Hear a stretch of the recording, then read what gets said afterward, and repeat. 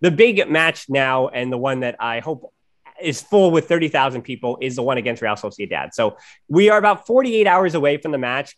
And it seems like, Rafa, that Memphis Depay and Eric Garcia will be registered. Uh, I mean, at this point, based on some of the stuff that's coming out of the Catalan press, right? Your your your your head says that. I mean, we have to trust the people we trust. So he and Garcia will be registered, but our heart says I'm not sure about that. Right? Until there's he was given the number nine shirt, but that doesn't necessarily mean anything. Remember, Luis Suarez, because of the transfer ban at the time, he didn't even play until January. So Barcelona have survived not being able to register people for. Aguero won't be registered because he'll be missing 10 weeks anyway. So just roll your eyes on that one. And it is worrisome that Aguero, he might be completely cooked, which is a bummer because he's 33 and you think that he wouldn't be totally done yet. But hey, injuries add up. Uh, and yeah, I mean, if Garcia is registered or not, it does stink for him. But with Piqué, Araujo, Lenglet, technically Umtiti, Mingueza coming back in September, and even Arnau he needed, and actually I should say De Jong as well. Um, Barca, in theory, could survive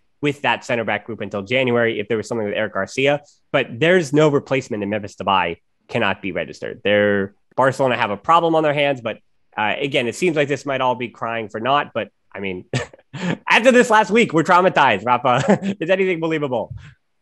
Hey, I, I, don't blame anyone for being pessimistic, uh, traumatized. I completely understand, even though I'm optimistic. We'll get to that um, a little bit later. But um, but yeah, th- we we've read today from the Catalan press that apparently the club told them different sources that they're conf- they're confident Memphis and uh, Eric Garcia will be registered before Sunday's game against Real Sociedad.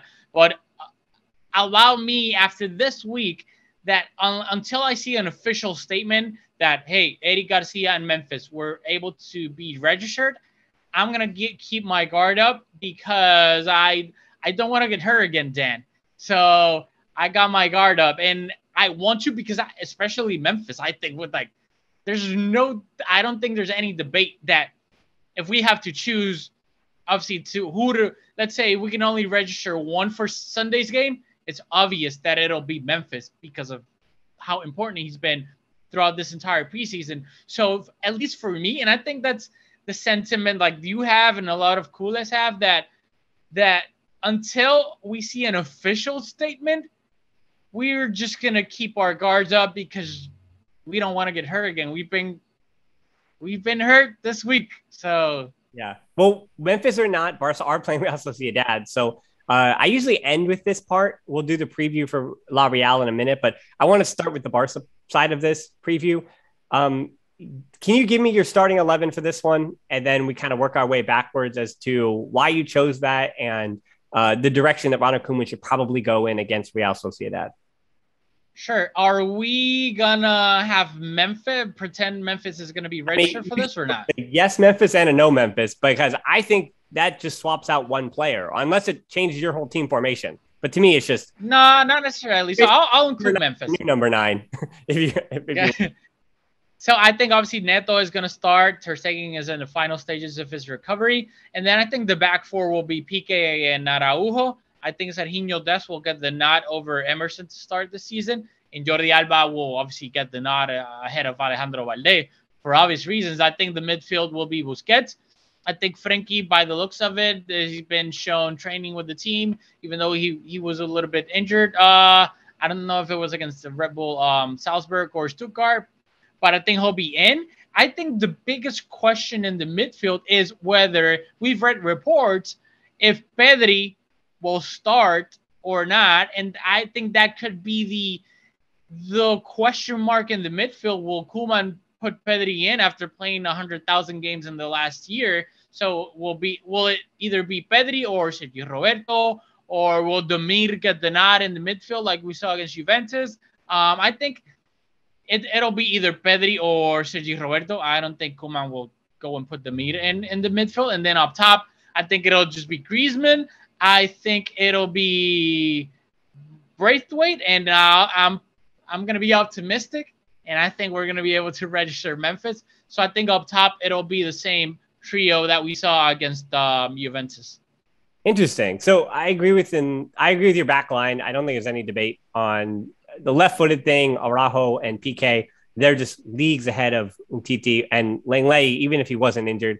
I, I think he's one of those ones that behind the scenes, and I know he's injured, but just like Neto and just like Braithwaite, that's one of the guys that I think Barcelona need to be on the phone about. I, I know that you'd prefer to get rid of Coutinho and Umtiti, but you've got to be Barcelona should be desperate to get rid of anybody they possibly can. Um, who's obviously not one of the untouchable young post under 23 players. Um, happy 22nd birthday to Riqui Puig, by the way. But uh, unfortunately, being 22 is not going to get him to start. I agree with you in the midfield. Two of the three of Pedri, De Jong, and Roberto, based on injuries and availability for Pedri and De Jong. Uh, I mean, if all three are healthy, don't worry, we're going to see Pedri, De Jong, Busquets in the midfield quite a lot this year. Don't worry if we don't get to see it for game one. So I do expect Roberto to start. But does he start next to Pedri or De Jong? Again, that's based on availability of the other two. And then for the front three, I said it on Monday and I'll repeat it again that to me, it's either Braithwaite out and Memphis in, or Braithwaite obviously starts because Memphis is registered, and then you have a much bigger discussion point. But I think Demir needs to start, and I and I think he starts on the right wing, not in the midfield. Even though he started in the midfield against Juventus, I think even in La Liga, Demir can start on the right wing, and you don't really give up, especially with the overlapping runs of Dest. Uh, Demir can cut it. I mean, just stay in, and uh, yeah, it's a learning experience for him, but he was more impactful. He had more progressive dribbles. He was just statistically and eye test wise more impactful against Juventus and against Red Bull, uh, Red Bull Salzburg than Griezmann was. Uh, and so Griezmann starting no matter what, 100% chance, 120% chance Griezmann starting. I'm, that's not a knock on Griezmann. That's to say that if Demir is having that kind of impact, we've seen that Koeman, if a young player has an impact, he plays him and it, he might be stubborn about others and you might argue that guys are making impacts and they're not getting time. But if you make the kind of impact that Demir has had in his starts and he's also started in the preseason he started all but one of those matches. And again it's a reminder that Koeman seems to found his not even flavor of the month but the, the player that he is expecting big things from and that is Yusuf Demir so I think it needs to be either Griezmann Braithwaite Demir or Griezmann uh, and Memphis and Demir. I just the spacing with Braithwaite to me against Juventus just it didn't work. I said it on Monday as well, but it's either Griezmann as a false nine, uh, kind of dropping in deeper and defending almost an attacking midfielder, and then Memphis coming out on the left wing, or if Memphis trying to hold the ball up, if Real Sociedad are going to play that way, Memphis holds the ball up in the middle, and Griezmann basically cuts in off the left wing where he's less comfortable. But there's a lot of switching going on there. You usually see in the buildup as Memphis drops deeper, Griezmann kind of runs in behind, but he runs in through the half spaces in the central channel. So don't think of it as Griezmann on the left, Memphis in the middle. It's more like both of them on, on two thirds of the field, and then Demir kind of is given the right wing to overlap with Dest, uh, and then kind of Alba. Really, the question with that front three comes in with how is Alba going to make an impact if you don't have uh, oh, what's his name? The he wore number ten for Barca for a long time. Uh, the guy who was always at the it was the guy that Alba liked to cross into. I, I can't remember his name. He's an Argentine player. He just, ah, yeah, I think he's from Argentina, but I, if Alba doesn't have a new, I don't remember his name. Right. So if Alba can't cross into Messi at the at the penalty spot, well, he's going to have to find some basically a new thing to do with with the run that Griezmann doesn't make. Memphis and him, I think their combinations were pretty good. I was actually happy with their chemistry, and we'll see if they can build on that. But yeah, it all comes down to Memphis. But as far as Real Sociedad, that's a tough test, Rafa.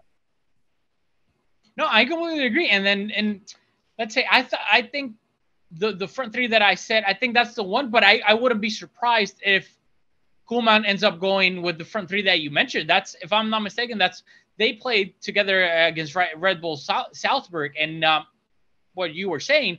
That's exactly what they did. Like Memphis and, and Griezmann, technically, Griezmann started as a false nine and Memphis on the left, but they were completely intertwined. Like they were changing positions left and right. And I think it was um Demir's goal. It was basically Griezmann did an overlapping run, Memphis with a great through ball, and then Griezmann crossed the ball for a Demir tap in. So I, I think I wouldn't be surprised whatsoever if Demir gets a nod ahead of uh, Braithwaite because I, I think alongside Gavi, they've been the two like young standouts of the of the preseason for for Barcelona. So that's that's something that could possibly happen. And then again, yeah, like like even though it's going to be at the Camp Nou, and we're going to have fans back, so that's going to help. Going against Real Sociedad is not easy peasy to start of the season, given how we've come to the current state. Like literally, like Messi, freaking Messi, left a week ago. And now we got to start the season, we don't, we hope, but we don't know yet if we're going to be able to have Memphis for that first game, who's been such a, a, a, a important part of the preseason. So it, it's it's something that's like you would have preferred to start the league against a obviously a, a lesser team to to put it nicely because Real Sociedad are a very good team, are a good team that can play from the back, a very attacking team that if you're not careful, there it doesn't matter if you're playing at the Camp Nou, they're gonna pressure you and you're gonna be in danger. So it, it, it's gonna be a really really tough uh, start uh, of the season for Barcelona. Yeah, and we know that we also see that on the road up in San Sebastian is uh, always much, much harder, but this is at home. These are the points you need to get early in the season. And for Real Sociedad, the opposite of Barcelona, Barcelona has had a bit of upheaval, but Real Sociedad has basically stayed the same. They've kept the same team for better or worse. Um, and Imanol, the coach, basically brings back his whole team. The only difference is being the backup goalkeeper and the backup left back. I mean, what a, what a great transfer window that must be. But the, you know, that's a double edged sword for Real Sociedad and actually most of the Liga. As I was looking at the transfers in and out, so last year for the YouTube channel, I made this new faces in the Liga video, and I usually do that every year, or it might have been two years ago, times the flat circle. So it, whatever year it was, I made this new face in the Liga because there's always new transfers coming in, whether it's Eden Hazard or whoever it may be, and it seems like everybody has somebody, right? Any La Liga team has a new player they've tried to inject. But other than, I mean, Erik Lamela, I, I mean, it is one of the biggest injections into La Liga, right? That's what we're saying, that he's one of the top, as I'm going through the list, he's one of the top five best new players in the Liga. Spanish teams had no money. That's the whole thing going back to the CVC thing. There is no money for transfers. So for better or worse, we also see that we're only able to reinforce at goalkeeper and left back just at the backup positions where they lost those other positions. Uh, well, I mean, where they lost the players in those positions. Uh, so last year they finished fifth 15 points behind fourth place Sevilla. So that's a pretty big margin between fourth and fifth. One point above Real Betis, who oddly finished sixth with a zero goal differential, while La Real finished with a plus 21 goal differential. So to tell you that that stat matters or means something. Uh, so that was their plus 21 goal differential was one better than Sevilla.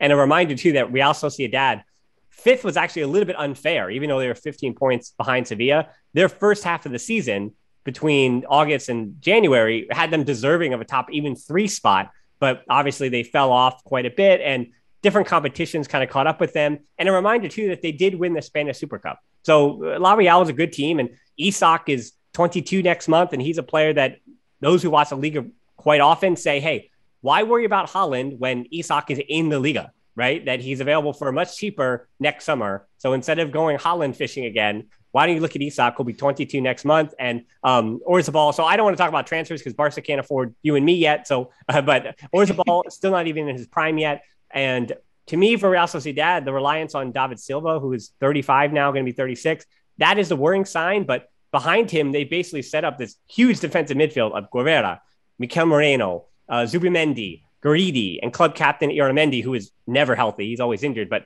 they basically set up a gigantic defensive core. You can't play them all at the same time, yes, but they just put all these legs behind David Silva and say, hey, um, old man, go to work. Um, and then their back line is fine. They're not particularly fast, but neither is Braithwaite in case he starts. So um, I, I, think the, the the, the two ends, the, the center backs pairings and the and the and the front or the front group for Barcelona, we'll see how what happens there. Then the inverse for for um, Real Sociedad. I think in the, in the midfield, it's going to wind up being quite even. And then this will be decided, I think, on the margins.